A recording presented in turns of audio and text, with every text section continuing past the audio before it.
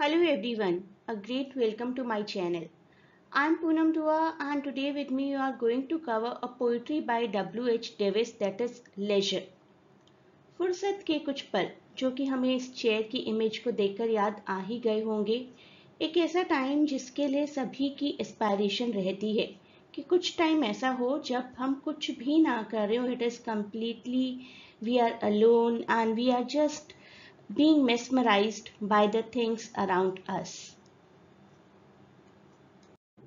I suggest कि आप में से जो भी इस एग्ज़ाम की प्रिपरेशन कर रहा है, मेरे इस टेलीग्राम चैनल को भी ज्वाइन कर लीजिए। You will get huge help here about your preparation and syllabus and other tips and tricks आप में से बहुत से लोग इस एग्ज़ाम के लिए पीडीएफ की डिमांड कर रहे हैं तो ये पीडीएफ्स अवेलेबल हैं।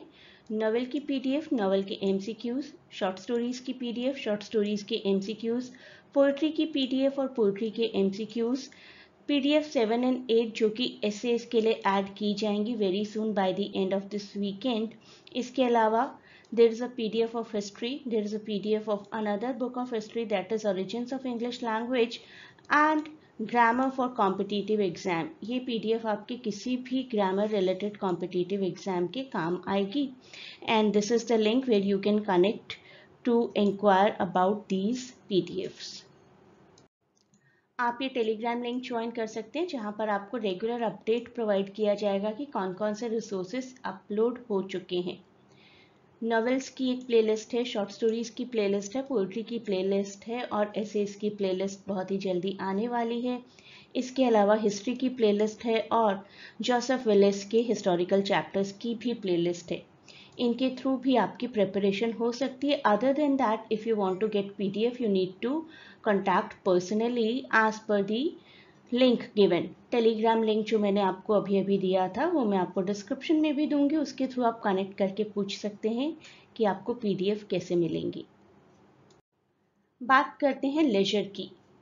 इन राइटर को देखकर ही लग रहा है कि बहुत ऐसी सिचुएशन में हैं कि अपना लेजर एंजॉय कर रहे हैं। Poetry by Welsh poet W H Davies and uh, it appeared originally in his songs of joy and others जो कि 1911 में पब्लिश हुई थी।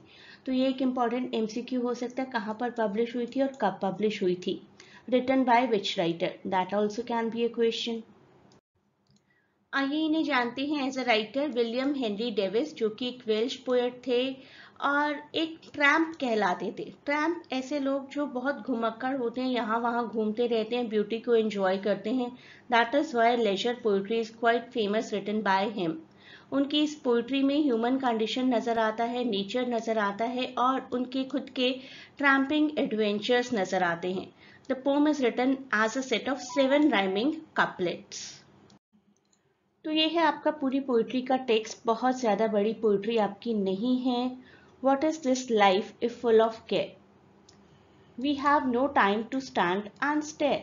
तो शुरुआत ही वो ऐसे करते हैं कि ऐसी लाइफ जिसमें हम हमेशा किसी ना किसी की अपनी केयर ही करते रह जाते हैं, कभी भी अपने आसपास के एनवायरनमेंट को एंजॉय नहीं करते इतना टाइम ही नहीं होता किसी के पास कि रुक कर देखा जाए कुछ एक्सटर्नल चीज़ों को no time to stand no time to see no time to see no time to turn no time to wait देखिए कितने अच्छे से उन्होंने एक फ्रेज को रिपीट किया है। ये फ्रेज का रिपीटेशन कहलाता है एनाफरा। एनाफरा एक बहुत ही इंपॉर्टेंट लिटरेरी डिवाइस है। हम उसके बारे में डिस्कशन करेंगे शॉर्ट में। पहले पोइट्री को समझते हैं। उन लाइंस को समझेंगे हर बार जो हाईलाइटेड है। What is this life if full of care we have no time to stand and stare हमारा स्पीकर एक रिटोरिकल क्वेश्चन पूछ रहा है कि हम आखिर करते ही क्या पूरी लाइफ में? We are always overwhelmed by worries अभी इस चीज़ की चिंता है, कल किसी और चीज़ की होगी, आज एग्ज़ाम की है, कल रिजल्ट्स की होगी।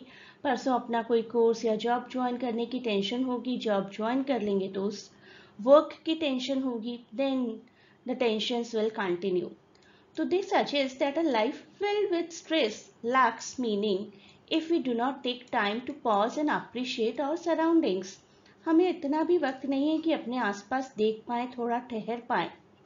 तो पोइट्री का टोन जो है वो यहाँ पर सेट हो जाता है शुरुआत की लाइंस में कि we should always be full of mind हमारा दिमाग हमेशा ओपन होना चाहिए अपने आसपास का एनवायरनमेंट एनालाइज और एंजॉय करने के लिए। अब इन लाइंस को देखें। No time to stand beneath the boughs and stare as long as sheep and cows speaker contrast करता है ह्यूमन हरिडनेस को with the leisurely existence of animals like sheep and cows कभी किसी सड़क के चौराहे पर गाय को बैठे देखा कितने आराम से बैठी होती हैं। कोई टेंशन नहीं है कि ब्रेकफास्ट बनाना है डिनर बनाना है लंच बनाना है या खाना है या कोई काम करना है, कोई पढ़ाई करनी है, कोई होमवर्क करना है। उनकी लाइफ भी एक डिफरेंट लाइफ है, हमसे, हमारी लाइफ एक डिफरेंट तरीके से अलग अलग कैरेक्टरिस्टिक्स से भरी हुई है। तो by invoking these animals basically the speaker highlights the natural behaviour of simply being present in the moment हम लोग आजकल के टाइम में तो स्पेसिफिकली जब हर हाथ में मोबाइल फ़ोन है we are not able to analyse the environment around us हम हमेशा अपने मोबाइल फ़ोन की तरफ़ ही देखते रहते हैं। ये पोइट्री तो खैर बहुत पुरानी लिखी गई है। उस टाइम पर भी शायद अपनी अपनी तरीके की जल्दी हुआ करती होगी कामों को ख़त्म करने की और आ, अपने घर वापस जाने की कि people were not able to enjoy the stillness in the nature beyond them No time to see when woods we pass, jungle, where squirrel hide their nuts and grass. हमारे स्पीकर यहाँ पर लिमेंट करें कि एक अपॉर्चुनिटी होती है हमारे पास कि अपने आसपास के क्रीचर्स को देखा जाए। चीटियाँ कैसे कतार बनाकर चलती हैं स्क्विरल कैसे वर्क करती है या कोई भी और क्रीचर कैसे वर्क कर रहा है। कभी आप स्क्विरल को अपने आप में ही मगन खेलते हुए देखेंगे it will be a very enjoyable sight but we overlook the beauty हम हर चीज़ को ओवरलुक करते हैं और आगे बढ़ते चले जाते हैं। पूरी पोइट्री हमारी कपलेट फॉर्म में ही है। दो दो लाइंस दी गई हैं जो आपस में राइम कर रही हैं। आप देखिए शुरुआत से care stare boughs cows pass grass daylight night this is the couplet that we are doing at present broad daylight में तो हम कभी कुछ एंजॉय करते ही नहीं हैं ऑल दो रात में ज़रूर आकाश में कभी कभी सितारे देख लेते हैं।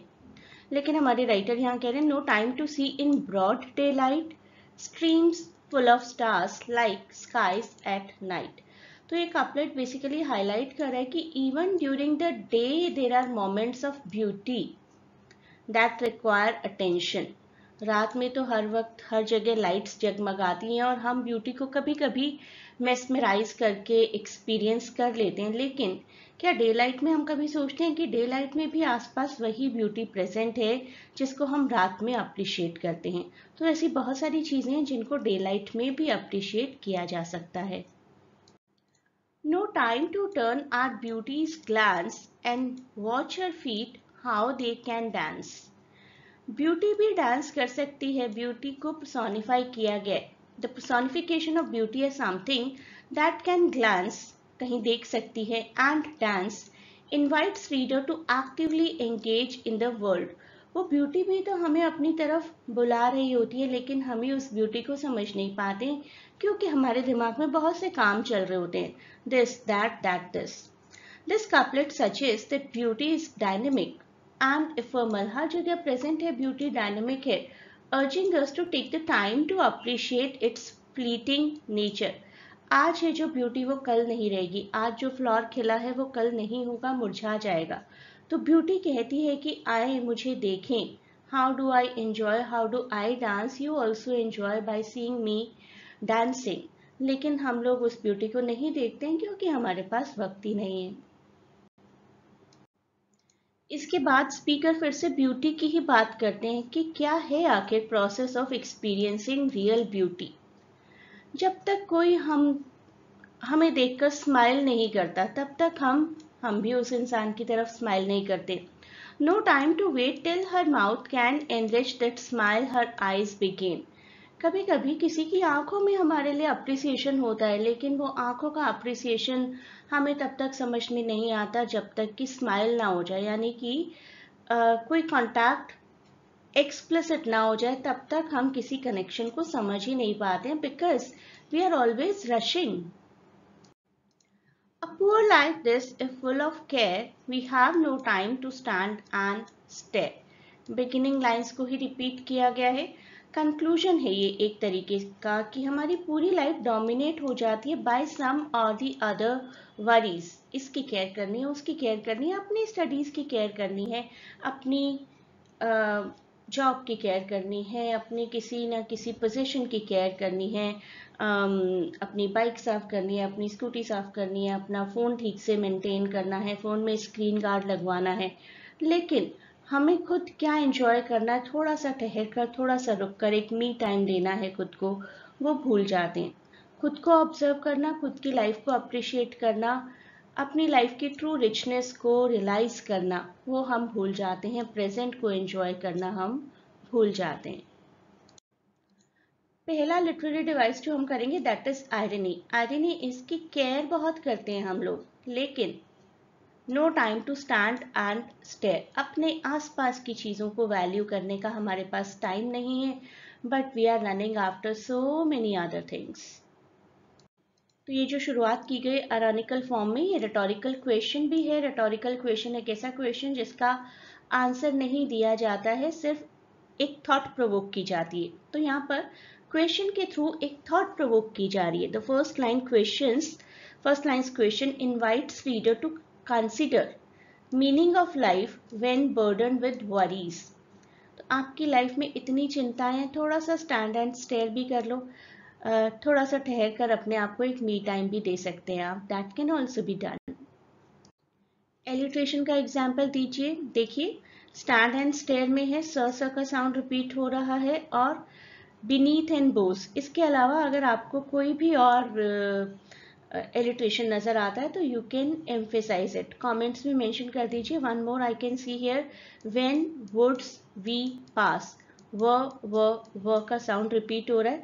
तो कहीं पर भी आपको इस पोइट्री में लग रहा है कि कोई कॉन्सोनेंट साउंड रिपीट हो रहा है इन द नेबरिंग वर्ड्स तो that is the good example of alliteration repetition है. इन अ की फॉर्म में हर कपलेट बिगिन हो रहा है नो no टाइम से.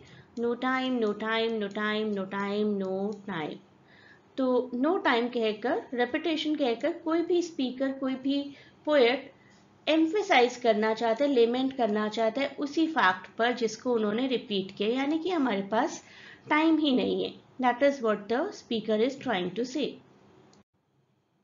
simile देखिए and stay as long as sheep and cows sheep और काव आराम से बैठकर किसी भी चीज़ को स्टेयर करती रहती हैं घंटों घंटों लेकिन हमारे पास वो टाइम नहीं है।